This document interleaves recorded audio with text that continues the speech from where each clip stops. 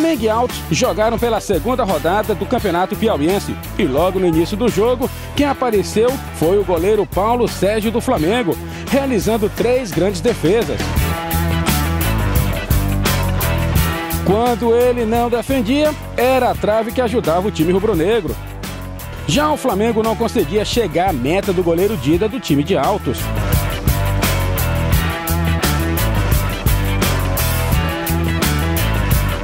E com o segundo tempo, o técnico Atilson mudou a equipe, colocando novas peças no time rubro-negro.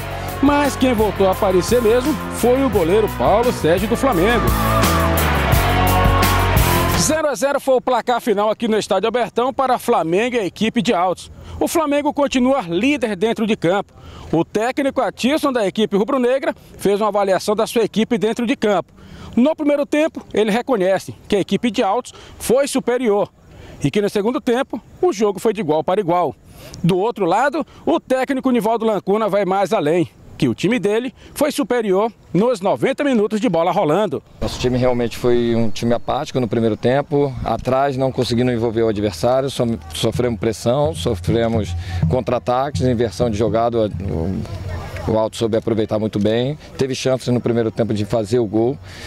E, vendo tudo isso, a gente teve que mudar o nosso, nosso sistema para que a gente pudesse controlar isso. Conseguimos fazer essa, esse posicionamento. O time voltou com uma postura diferente, concentrado, conseguiu criar algumas situações de gols.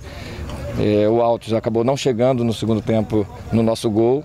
Tivemos duas chances claras para fazer o gol no segundo tempo. Só no primeiro tempo eu contei cinco reais oportunidade de gol.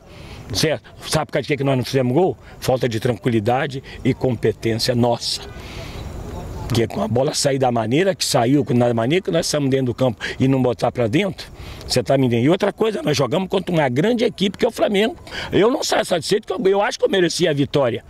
Você está entendendo? Mas no final você fica satisfeito que você somou um ponto fora de casa.